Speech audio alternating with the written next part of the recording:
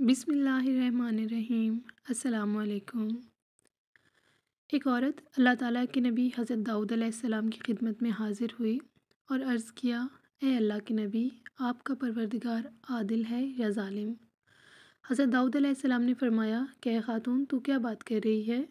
अल्लाह ताला तो सरासर अदल इंसाफ वाला है। वो ज़रा बराबर भी किसी पर जुल्म नहीं करता।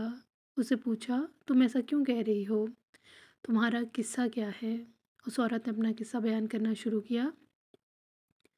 ए अल्लाह के नबी, मैं एक बेवा औरत हूँ। मेरी तीन बच्चियाँ हैं, जिनकी परवरिश मैं अपने हाथ से सूत काट काट कर करती हूँ। दिन भर और बाज़ अवत रातों को जाग कर सूत काटती हूँ।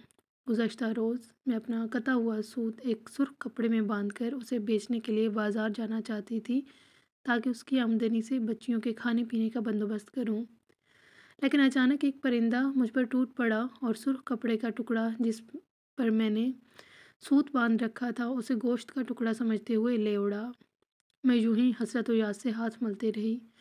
अब मेरे पास कुछ भी नहीं कि अपनी बच्चियों को खाना खिला सकूँ।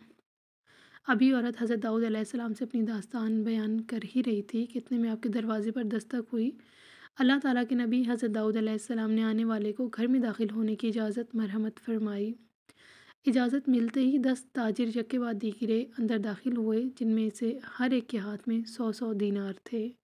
ताजिरों ने अर्ज़ किया, अल्लाह ताला के नबी, हमारे इन दीनारों को उनके मुस्तकों तक पहुँचा दें। हज़रत दाऊद अलैहिस्सलाम ने उनसे पूछा, मेरे पास ये माल हाजिर करने का सबब क्या है? ताजरों ने जवाब दिया, अल्लाह ताला के नबी, हम सब एक कश्ती में सवार थे। इतफाक़न एक ज़ोरदार आंधी आई, जिसे हमारी कश्ती में एक एक जानब सुराख हो गया। मौत हमें सामने नज़र आ रही थी। हमने नज़र मानी कि अल्लाह ताला हमें इस तूफ़ान से निजात दे दे तो हर शख्स सौ सौ दिनार सदका करेगा। अब पानी कश्ती में तेज़ी से दाखिल होने लगा। हमारे पास कोई ऐसी चीज़ नहीं जिससे सुराख को बंद कर सकें। इधर हमने नज़र मानी, उधर अल्लाह ताला ने हमारी मदद का बंदोबस्त कर दिया। एक बहुत बड़ा परिंदा मंडलाता हुआ कश्ती के ऊपर आ गिरा। उसके पंचे में एक सुर्ख रंग की पोटली थी। उसने देखते ही देखते पोटली कश्ती में फेंक दी। हमने लपक कर उस पोटली को पकड़ा। उसमें कटा हुआ सूत था। हमने फ़ौर उससे कश्ती का सुराख बंद किया और उसमें दाखिल शुदा पानी को हाथों से बाहर फेंका। थोड़ी देर बाद तूफ़ान थम गया और यूँ हम मौत के मुँह से वापस आए हैं।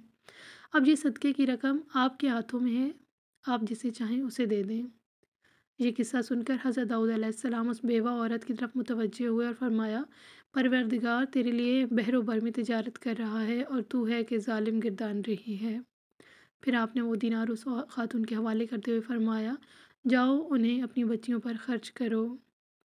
Thanks for watching please subscribe my channel like and share this video thank you